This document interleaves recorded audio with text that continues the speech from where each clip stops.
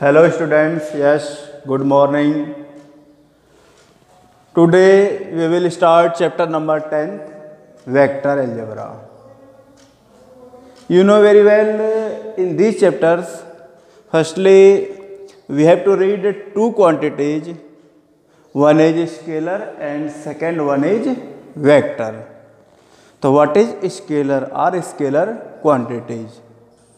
And vector and vector quantities तो firstly scalar those quantities which have only magnitude there is no need of direction is called scalar और scalar quantities देखें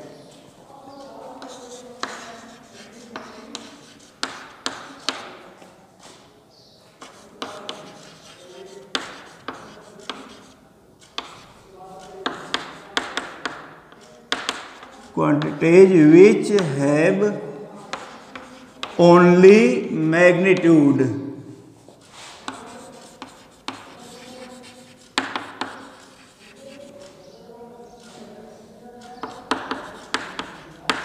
is called scalar or scalar quantities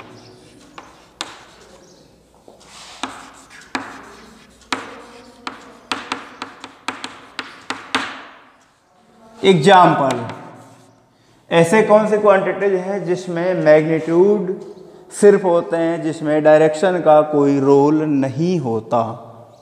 Like that mass temperature angle pressure work done इसमें सिर्फ़ और सिर्फ़ magnitude का अपना role है. There is no need of any direction जैसे मैं कहूँ, बेटा, आपका वज़न फाइव के है। या आपका वज़न 50 के है।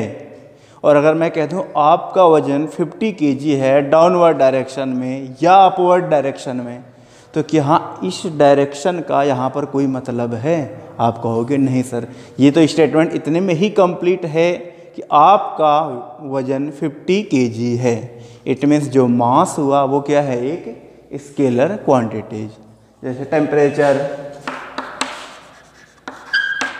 mass angle pressure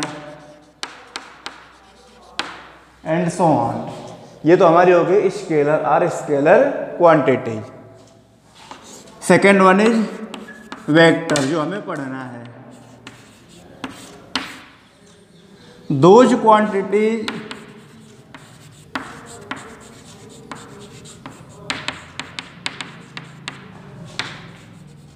which have magnitude as well as direction. जिसमें मैग्नीट्यूड के साथ डायरेक्शन आ जाए, वो क्वांटिटी हमारी क्या होगी? वेक्टर और वेक्टर क्वांटिटीज जैसे मैं कह दूँ, हमने किसी ऑब्जेक्ट पर एक फोर्स लगाया। आपका नेक्स्ट क्वेश्चन हो जाएगा, सर, ये फोर्स आपने किस डायरेक्शन में लगाया? आपने हॉरिजेंटल लगाया वर्टिकल लगाया अपवर्ड लगाया या डाउनवर्ड लगाया? किस डायरेक्शन में लगाया? तो यहाँ पर डायरेक्शन का अपना एक रोल हो रहा है। तो जहाँ पर डायरेक्शन की नीड हो, वो क्वांटिटी आपकी क्या हो जाएगी? Vector like that example force acceleration velocity displacement ये सब आपकी क्या है?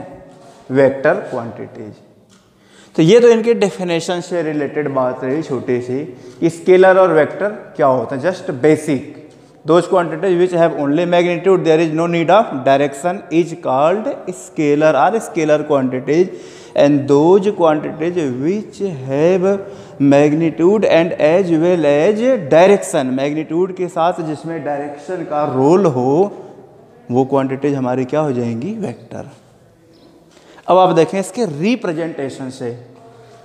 ये तो हमारी आपकी डेफिनेशन हो गई अब हम पढ़ेंगे रिप्रेजेंटेशन किसी भी वेक्टर का रिप्रेजेंटेशन हम कैसे करते हैं? किसी भी वेक्टर को हम कैसे लिखेंगे? देखिए firstly we have taken two points suppose we have taken point A and B this is point A and this is point B अब मैं कहता हूँ, आप इस पॉइंट ए और बी को ज्वाइन कर दो। तो मैं ए और बी को ज्वाइन कर दिया, ये हो गई। तो मैं ए और बी को ज्वाइन कर रहा हूँ। तो मैं यहाँ पे सिर्फ़ ऐसे ए और बी को ज्वाइन कर सिर्फ़ इस लाइन को देख करके हमें ये नहीं पता चल रहा है कि हमने ए से बी को ज्वाइन किया है या बी को ए से ज्वाइन किया है। अगर हम इसको ए से बी को ज्वाइन कर रहे हैं तो हमें यहाँ पर एक एरो देनी पड़ेगी, ऐसे ये एरो क्या बता रही है? हम इस लाइन को from A to B join कर रहे हैं। अगर मैं इसी को यहाँ पे ऐसे लिख दूँ, ये आपकी पॉइंट ए है और ये पॉइंट आपकी बी है। और मैं इसको एक यहाँ पे ऐसे एरो दिखा दूँ। इस एरो का क्या मतलब है? आप कहोगे, सर, हम इस लाइन को from point B to A join कर रहे हैं। बी से ए मिला रहे हैं। मतलब तो ऐसे आ रहे हैं ये। एरो यही तो बताती है अपने को। भाई ये एरो का डायरेक्शन है तो हम ऐसे आ रहे हैं। और इधर एरो का डायरेक्शन है तो हम ऐसे जा रहे हैं। मीन्स ए से बी की तरफ़ जा रहे हैं। यहाँ पर बी से ए की तरफ़ जा रहे हैं। तो हम अब इसको कैसे लिखेंगे? फ्रॉम ए टू बी देखिए। ए बी और यहाँ इसके ऊपर ऐसे एरो दे देंगे, यहाँ।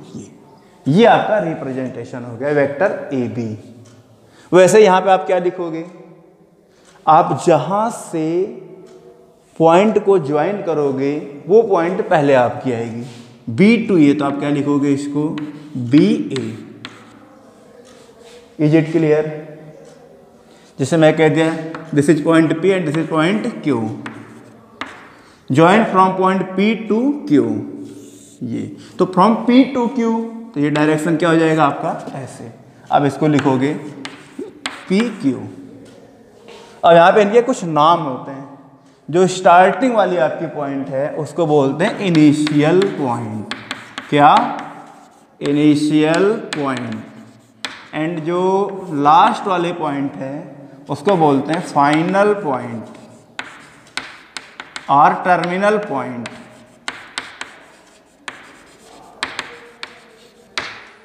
ये आपका हो गया। इट मीन्स इसको इन अदर वर्ड्स हम ये भी कह सकते हैं कि vector is the line join from initial to final हम किस, किसी वेक्टर को कैसे कह सकते हैं कि वो वेक्टर का फॉर्मेशन होता है from initial points to final point एक और इसका रिप्रेजेंटेशन इस तरह से आता है एंगल को कैसे हम दिखाते हैं। जैसे मैं कह दूँ draw any vector of magnitude 5 unit and 30 degree east of north ऐसे आ जाए। आपको एक ऐसा वेक्टर ड्रॉ करना है, जिसका तो मैग्नीट्यूड क्या हो? फाइव यूनिट और यहाँ पर जो ये दे रखा है, ये आपको डायरेक्शन से रिलेटेड पॉइंट्स दे रखा है। Thirty degree east of north कि वो 30 डिग्री का एंगल बना रहा है ईस्ट ऑफ़ नॉर्थ से। तो हम इसको कैसे ड्रॉ करेंगे? अगर मैं सिंपल वे में कह देता हूँ आप कोई इन ऐसा वेक्टर ड्रॉ करो जिसका मैग्नीट्यूड टू यूनिट है और अपवर्ड डायरेक्शन में है। तो आप ऐसे कह देते, भाई डायरेक्शन अपवर्ड कह रहा? तो आप ऐसे ये करके, अपवर्ड डायरेक्शन में यही तो होगा। और जो इसका मैग्नीट्यूड टू यूनिट है तो यहाँ पर हम ये और ये जो लेंथ है, ये आपकी हो जाएगी टू यूनिट। मैं कह दूँ, from left to right from left to right आप एक ऐसा वेक्टर ड्रॉ करो, जिसका मैग्नीट्यूड फाइव यूनिट हो। तो आप कहोगे, सर, ये तो ऐसे होगा। Five unit from left to right ये आपकी लेंथ फाइव यूनिट है और ये क्या बता रहा है? Direction from left to right अब हम इस वेक्टर को कैसे ड्रॉ करें? इसमें तो 30 डिग्री ईस्ट ऑफ़ नॉर्थ दे दिया। तो आप देखें। सबसे पहले आप डायरेक्शन यहाँ पे शो कीजिए। You know very well north south east, west. अब आपको ड्रॉ करना है फर्स्टली फाइव यूनिट आप एक ऐसा वेक्टर ड्रॉ करो जो फाइव यूनिट हो। और यहाँ पे ये एंगल आप देखिए thirty degree east of north that one is more important तो आप एक ऐसा वेक्टर ड्रॉ करना है आपको जो 30 डिग्री का एंगल बनाए ईस्ट ऑफ़ नॉर्थ से। तो ये एंगल हम कैसे बनाएँगे, ये आप ध्यान दें। इस एंगल को हम नॉर्थ से ईस्ट की तरफ़ मेजर करेंगे। कैसे मेजर करेंगे? From north to east 30 degree का एंगल तो आपका, आपको होगा कि ये तो है नॉर्थ ये तो है ईस्ट तो क्या ये जो वेक्टर है, क्या वो ईस्ट प्लेन में आएगा? आप कहोगे यस क्योंकि नॉर्थ और ईस्ट इसी में है. इसमें तो नॉर्थ और वेस्ट है, इसमें वेस्ट और साउथ है, और इसमें साउथ और ईस्ट है. तो ये तो आएगा इसमें. तो फाइव यूनिट पहले आप ड्रॉ कर लो, और यहाँ से एंगल बनाओगे कहाँ से? नॉर्थ से ईस्ट की तरफ़. तो नॉर्थ से ईस्ट की तरफ़ कैसे हम चलेंगे? ऐसे. ये आपका एंगल होगा और यहाँ से वेक्टर ड्रॉ कर दो आप। ये आपका वेक्टर हो गया फाइव यूनिट का और ये जो एंगल हुआ आपका थर्टी डिग्री देखिए, हमें रिवर्स चलना है नॉर्थ से ईस्ट तो नॉर्थ से ईस्ट की तरफ़ चलना है तो ये आपका एंगल हो गया थर्टी डिग्री और ये यहाँ से लेके यहाँ तक। इस वेक्टर का magnitude five unit that one is clear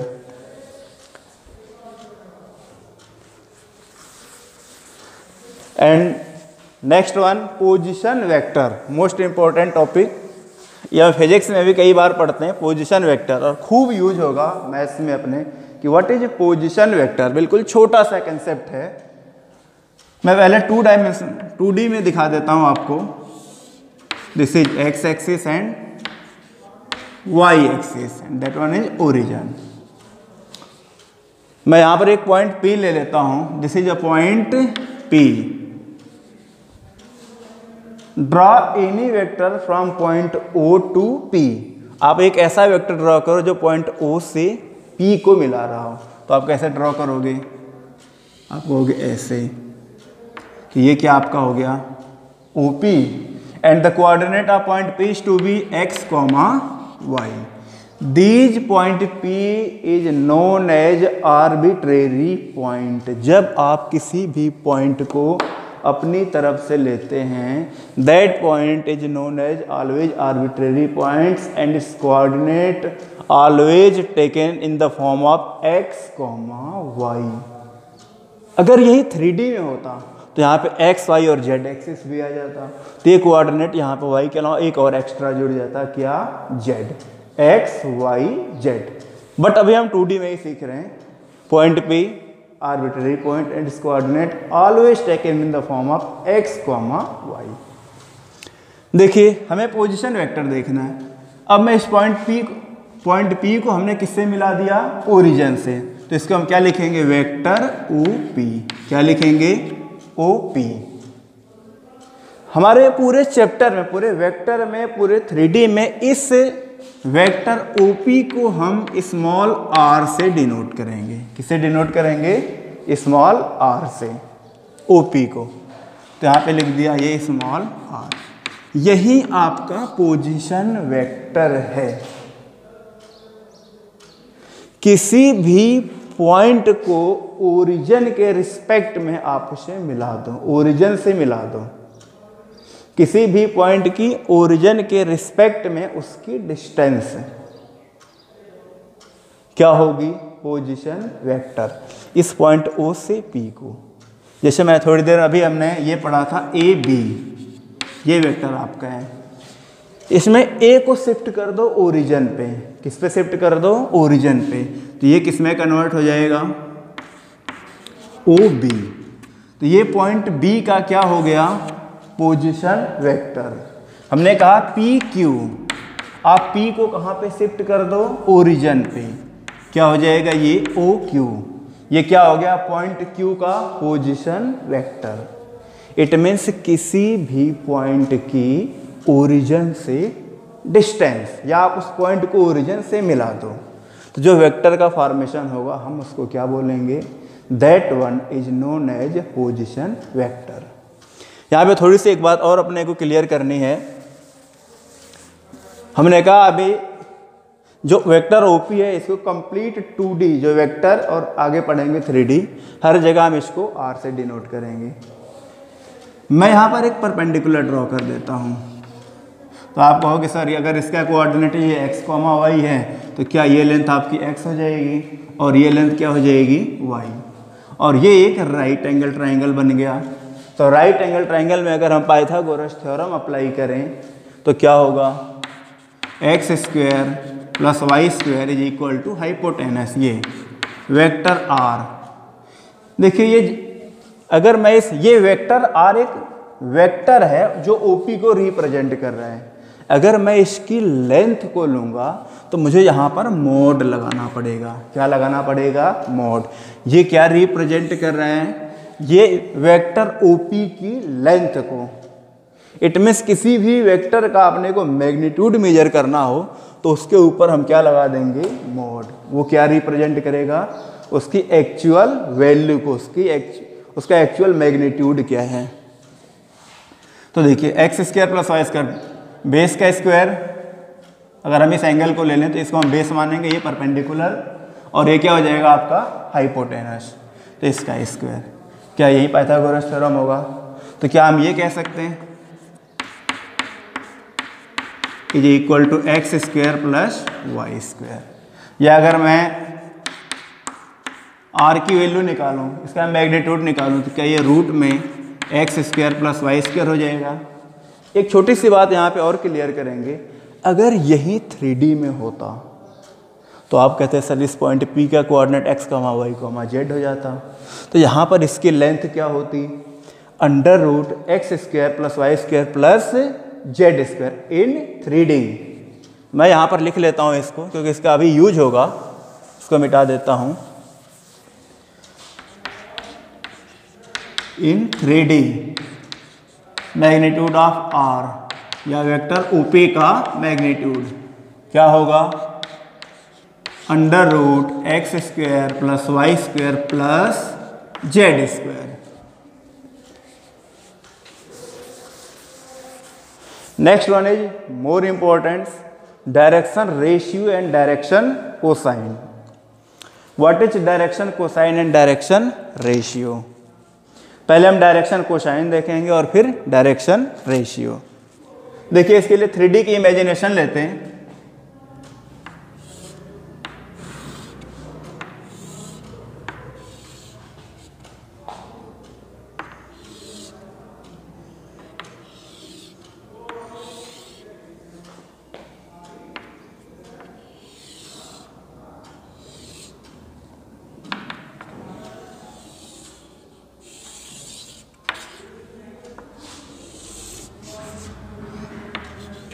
ये आपका हो गया एक्स एक्सिस ये क्या हो गया वाई एक्सिस एंड ये क्या हो गया जेड एक्सिस देखिए, थोड़ी देर पहले जो हमने पॉइंट पी की बात किया था, वो पॉइंट पी कहाँ पे होगा?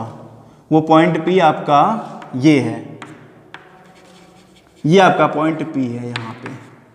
ये थ्री डी में है। इसको आप यहाँ से मिला दीजिए। तो ये आपका क्या हो गया? ओ पी क्या हो गया भाई? ओ पी ये थ्री में है। मैं इसकी नेमिंग कर देता हूँ कुछ। ये आपका है पॉइंट यहाँ से ले लेते हैं। Point A point B point C हम क्या पढ़ने जा रहे हैं? डायरेक्शन रेशियो एंड डायरेक्शन को तो पहले पढ़ेंगे डायरेक्शन को और फिर डायरेक्शन रेशियो देखिए, यहाँ पर जो पॉइंट P है, अगर हमने इसको O से ज्वाइन कर दिया तो ये OP एक पोजिशन वेक्टर हो गया। थोड़ी देर के लिए हम कहते हैं, ये OP एक लाइन है। या अगर वेक्टर में कहें तो ये OP एक वेक्टर है। यहाँ पर हम एक एंगल को देखेंगे। ये जो वेक्टर OP है, आप ध्यान से देखें, वो एक्स एक्सिस से भी कुछ एंगल बना रहा है वाई एक्सिस से भी कुछ एंगल बना रहा है, और जेड एक्सिस से भी कुछ एंगल बना रहा है। और ये एंगल फिक्स होता है, इनका डिनोशन फिक्स होगा। Let the vector O P makes an angle alpha from x axis beta from y axis and gamma from z axis ये एंगल आपके फिक्स होंगे। These angle are known as direction angle जो line vector OP है makes an angle alpha from x, beta from y and gamma from z axis. these angle are known as direction angle alpha beta and gamma are known as direction angle is it clear इसको हम क्या बोलेंगे direction angle देखिए, नाम यहाँ पे direction cosine हमें ये पढ़ना पढ़ना है।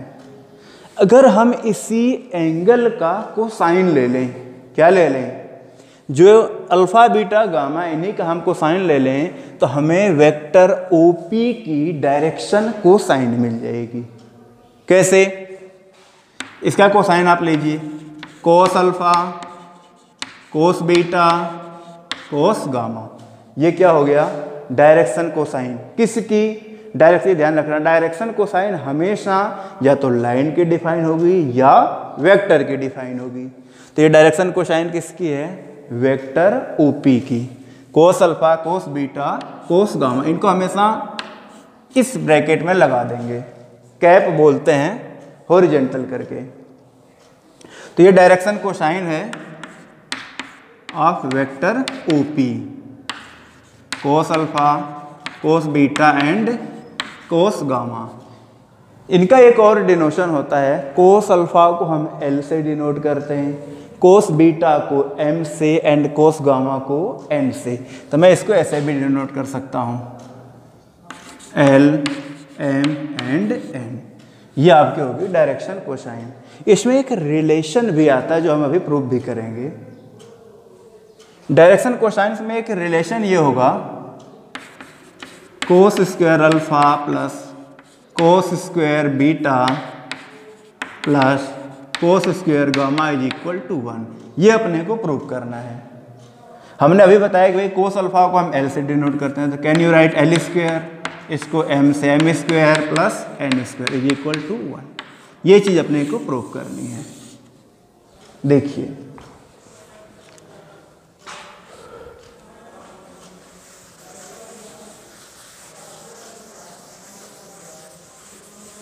इसका यूज़ होगा भैया हमारा।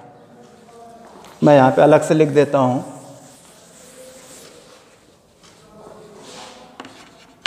Cos square alpha plus cos square beta plus cos square gamma is equal to one या L square plus M square plus N square is equal to one अब आप अपने इस फिगर में आ जाएँ थ्री डी में।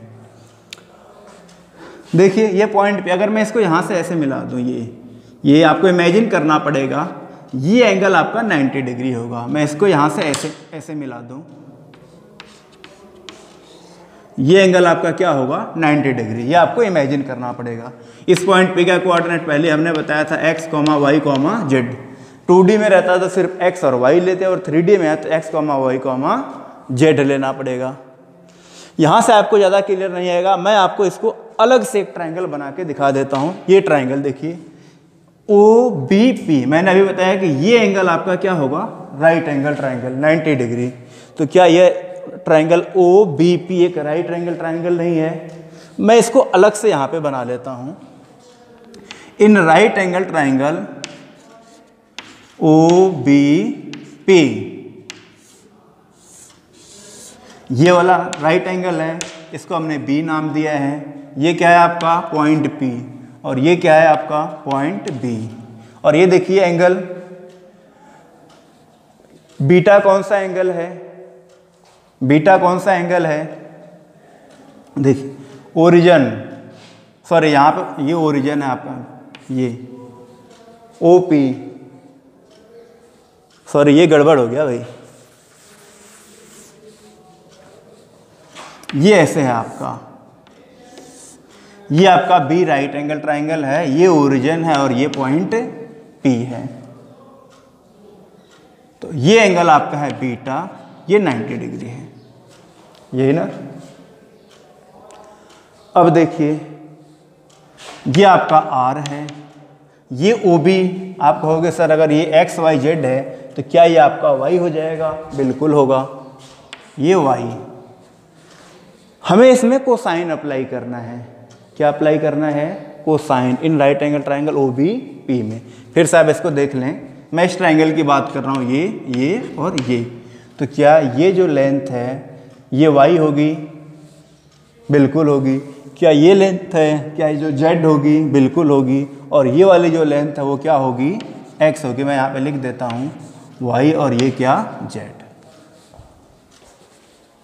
अब देखिए, जैसे ही आप इसमें कोसाइन अप्लाई करेंगे तो cos beta is equal to क्या होगा? बेस अपॉन हाइपोटेनस देखिए, यहाँ पे एक छोटी सी मिस्टेक हो सकती है। अगर मैं यहाँ पे सिर्फ़ वेक्टर आर लिख दूँ। अब हम ये लिख रहे हैं cos beta is equal to base upon hypotenuse it is the ratio of two sides मतलब ये टू साइड्स की लेंथ की रेशियो है। इट मीन्स ये भी लेंथ को रिप्रेजेंट कर रहा है और ये भी लेंथ को रिप्रेजेंट कर रहा है। इट मीन्स ये मैग्नीट्यूड होंगे तो हमें यहाँ पर मोड लगाना पड़ेगा। अब आप सिमिलरली करके लिख सकते हो। देखिए, अगर यहाँ पे y आया तो ये कोस बीटा है। इट मीन जो बीटा है वो y एक्सिस से एंगल और अगर मैं x एक्सिस से एंगल लूँ तो अल्फ़ा आएगा तो यहाँ पर x आ जाएगा। और अगर मैं जेड एक्सिस से एंगल लूँ तो वो गामा आ जाएगा, जो मैं आपको पहले ही बताया alpha beta gamma are the direction angle and always taken from x y and z axis respectively तो सिमिलरली करके आप क्या लिख सकते हो? Can you write cos alpha is equal to यहाँ पे अल्फ़ा है तो एक्स एक्सिस का एंगल है और यहाँ पर R then cos beta is sorry cos gamma is equal to z by magnitude of R अब ये तीनों वैल्यू आप कोस अल्फ़ा कोस बीटा और कोस गमा की वैल्यू आप उठा करके इस इक्वेशन में पुट कर दें। आप इसको इक्वेशन नंबर वन लेट कर लें। Put in equation number one left hand side में पुट करते हैं। देखिए cos square alpha cos alpha की value x y magnitude of vector R square bracket लगा दीजिए। Cos beta.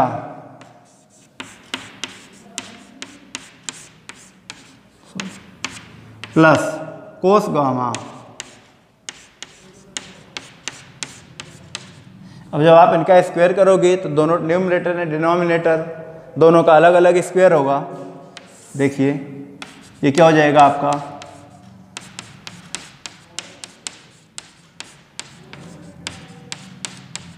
प्लस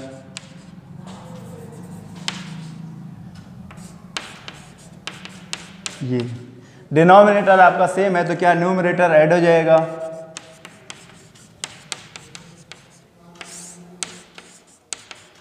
अभी आपने क्या सीखा है कि जो x square plus y square plus z square की वैल्यू है, अगर मैं इसको स्क्वायर करूँ तो क्या ये मैग्नीट्यूड ऑफ़ आर का स्क्वायर हो जाएगा? आप कहोगे यश तो मैं यहाँ पे क्या लिख सकता हूँ? मैग्नीट्यूड ऑफ़ आर का square upon magnitude of R का स्क्वायर ये कैंसिल हो गया। ये वैल्यू क्या आ गई आपकी? यही तो हमें प्रूव करना था। Cos square alpha plus cos square beta plus cos square gamma is equal to one तो प्रूफ क्या हो गया हमारा? Cos square alpha plus cos square beta plus cos square gamma is equal to one or L square plus M square plus N square is equal to one ये relation है direction cosines second one is direction ratio छोटा सा concept है direction ratio का. Those quantities which are just proportional to direction cosine are known as direction ratio उस quantities को हम direction ratio बोलेंगे जो डायरेक्शन कोसाइन के जस्ट क्या हो? प्रपोर्शनल देखिए।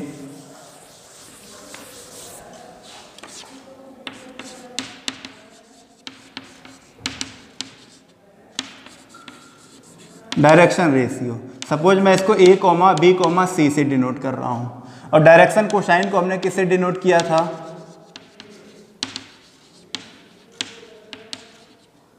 एल एम एंड एन से। यही ना? हमने अभी क्या बताया?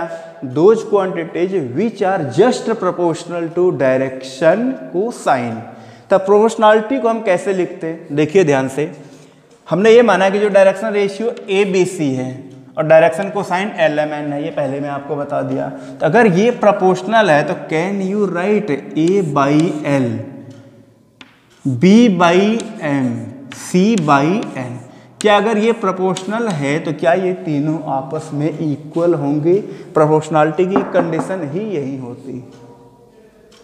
कि ये इक्वल होंगे। अगर ये प्रोपोर्शनल हैं तो डेफिनेशन है इनकी, ये कह रही कि those quantities which are just proportional to direction cosine are known as direction ratios suppose ये मान लीजिए किसी कॉन्स्टेंट के के इक्वल है। किसके? के के। तो क्या आप यहाँ से ए बी सी की वैल्यू निकाल सकते हो? Yes A is equal to L K B is equal to M K and C is equal to N K तो आपकी डायरेक्शन रेशियो क्या आ गई?